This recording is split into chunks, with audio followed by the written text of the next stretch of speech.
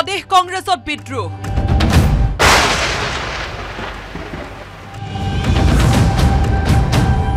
সভাপতিক লৈ দুভাগত কংগ্ৰেছ।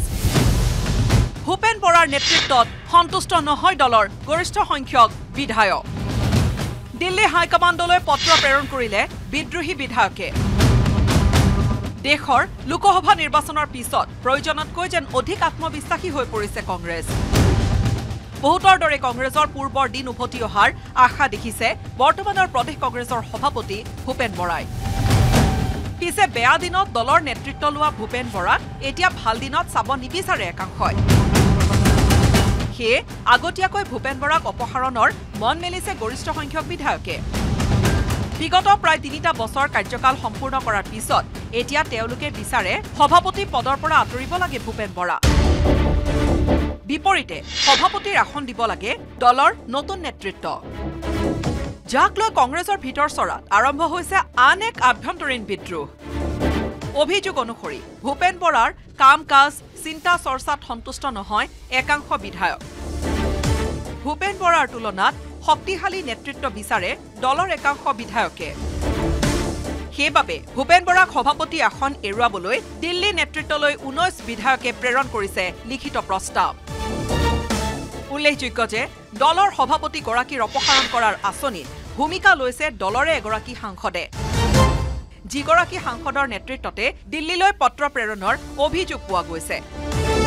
পিছে দিল্লী নেতৃত্বলৈ প্ৰেৰণ কৰা পত্ৰ সন্দৰ্ভত অৱগত নহয় বুলি মন্তব্য কংগ্ৰেছৰ দুই বিধায়ক ৰেকিবুদ্দিন আহমেদ আৰু আব্দুৰ ৰহিম আহমেদৰ।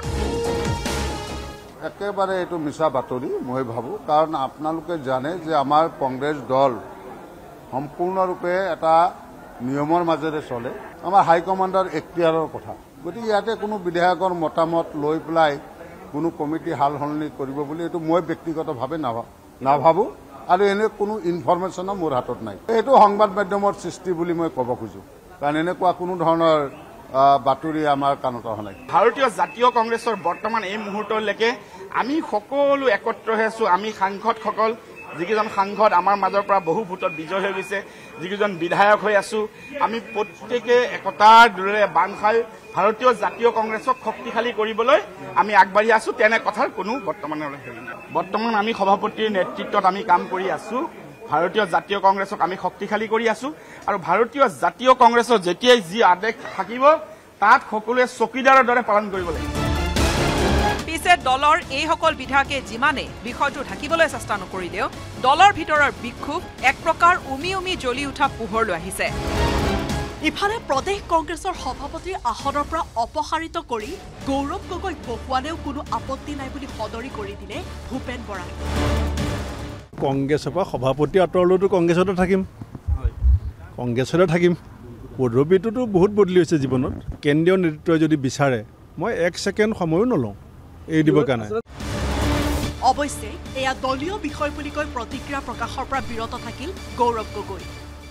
ভূপেন বৰা ডাঙৰীয়া এছ আই টিৰ পৰা নিজকে বচাবলৈ আমাক বিভাজিত কৰিবলৈ বিচাৰিছে। আমাৰ লোকৰ মাজত সংঘাত সৃষ্টি কৰিবলৈ বিচাৰিছে। তো বাকী দলীয় কথা মই বাহিৰত কেতিয়াও নকওঁ। আৰু দলত দলৰ নেতৃত্বক সদায় কৈ আহিছোঁ যে আমাৰ এটাহে লক্ষ্য যে অহাবাৰ বিধানসভাত নিৰ্বাচনত অহংকাৰী মুক্ত অহংকাৰ মুক্ত অসম আমি ৰাইজক দিবলৈ বিচাৰিছোঁ পিছে ভূপেন বৰাৰ সভাপতিত্বক লৈ ইমান অসন্তুষ্ট হোৱাৰ আঁৰত কি কাৰণ লুকাই আছে? সেয়াও এতিয়া বিশ্বাৰ্যৰ কাৰণ হৈ পৰিছে।